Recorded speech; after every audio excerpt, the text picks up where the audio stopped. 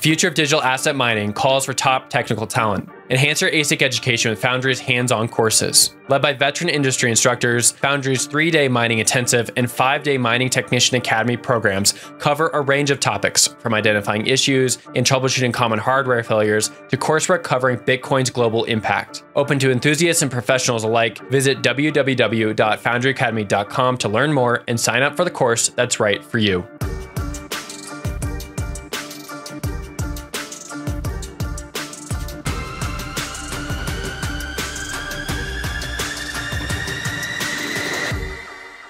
Welcome back to the Mining Pod. Joined again by Matt Kimmell of CoinShares to go over this week's news roundup.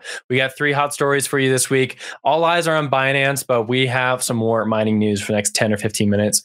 Going to start off with Argo blockchain, then move to B. Riley and Core Scientific, and finish today's discussion with a little info about new firmware updates from Bitmain and MicroBT. Kick it over to you for a headline reading on Argo blockchain, Matt.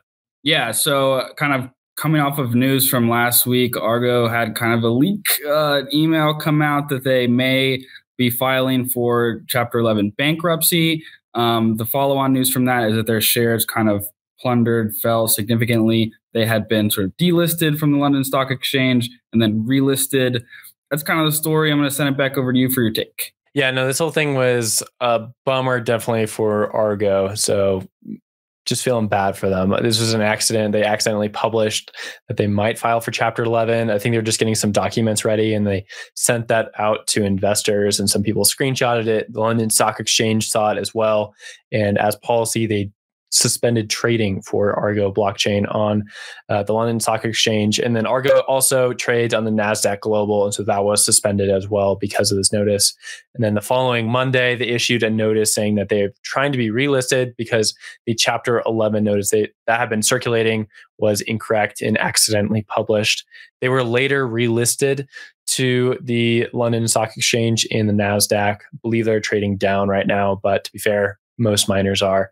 Uh, I think this whole instance, we just wanted to button up since we talked about last week. There's not a lot of information to pull away from this or action items, honestly. Just one of those instances where you hit publish by accident and then there's repercussions for it.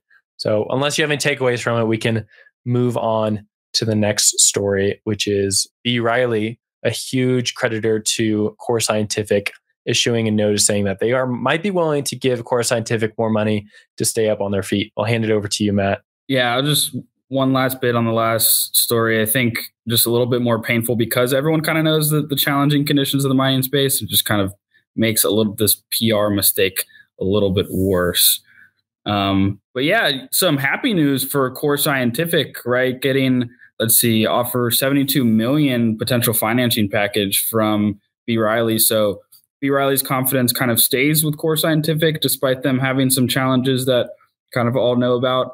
Um, what do you think about the story?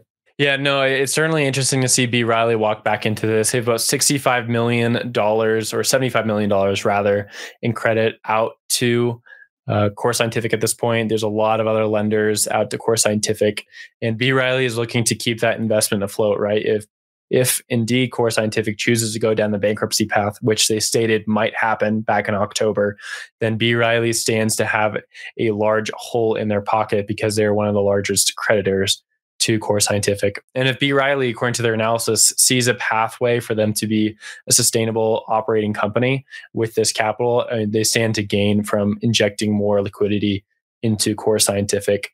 I think there's a lot of questions to be asked here, though. Uh, the analysis from Core is definitely interesting, a little novel. We haven't seen this for other miners, uh, but there's still a lot of outstanding questions, including what happens with the BlockFi loan, what happens from other loans uh, from these creditors to Core Scientific, what happens with uh, the ASIC purchases they've made, are those going to continue to be liquidated, or have they even started liquidating some of these things?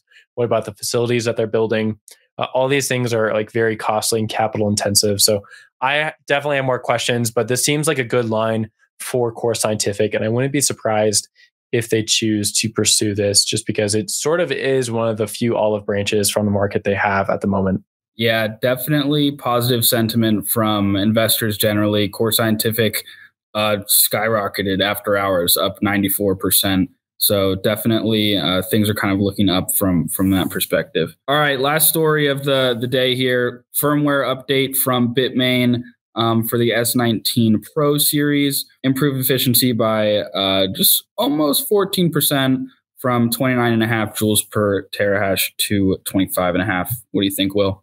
Yeah, and it was interesting to see both Bitmain and MicroBT put out new firmware updates. And of course, we have firmware for or third party firmware, I should say, for a lot of ant miners out there from the Braiins team, from the Vnish team, and from others.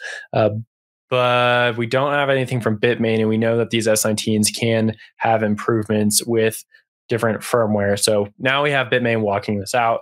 This improves the efficiency of the machine, meaning you need to te- pull less energy, which means it's going to be less expensive. But it does underclock your machine, right? So you're getting less Bitcoin out of it. I don't have the numbers in front of me for what the underclocking is, uh, but you're going to get less terahashes out of your machine. Um, I think the question here for the Bitmain Bitmain product itself is if you are pulling less electricity, then yes, you are uh, less expensive to operate your your mine. But most times contracts are set up where you have to use a certain amount of energy and it's to the plug. It's not for the entire site, it's to the plug for each individual miner. So if you start decreasing things by 15%, well, that miner becomes 15% less expensive to operate, but not really because you still have to purchase that electricity. Those contracts are normally set up so you have to purchase it over a period of time. And I think this could have a lot less impact than people are thinking for the network in general because everyone's going to have to get used to this new standard. It's not going to be like, oh, we can just download this firmware, implement it, and start running with it. No, you actually have to go into the energy contracts itself and change things. For the MicroBT update, I did not see a lot of things in there. Honestly, the only thing I really saw was a meme circulating around talking about how made MicroBT machines a little easier to use. Uh, not a lot of info on underclocking, overclocking, those sort of things. Of course, the, the meme with brains is when MicroBT uh, and MicroBT itself has not updated its firmware in order to overclock, to my understanding. Throw it back over to you, Matt. Yeah, I feel like the story is kind of neat because it's like the official firmware update for the machines from the manufacturers. It's kind of like a, a top down uh, software thing that you could do with your machines. Because um, typically it seems like it's from the the pool side, or just you know someone has high technical skill and does it themselves for their machines. Um, so you know maybe I guess interesting point that you brought up to me was that it could uh, help you keep your warranty on the machines uh, if something went you know particularly wrong with them and there was um, sort of a hardware glitch of some sort. So I mean, not I think crazy significant of news, but interesting nonetheless, and could help a miner out there. Certainly. So, yeah, three quick stories to wrap up for the weekend. Not a lot happening in mining circles. I think we're hitting crypto winter, so that's how it might be for a little bit, which is honestly kind of nice, a little refreshing after everything that's happened with FTX and so many other people in crypto. We'll call it a wrap there. Great to see you, Matt. Talk to you next week. Cheers.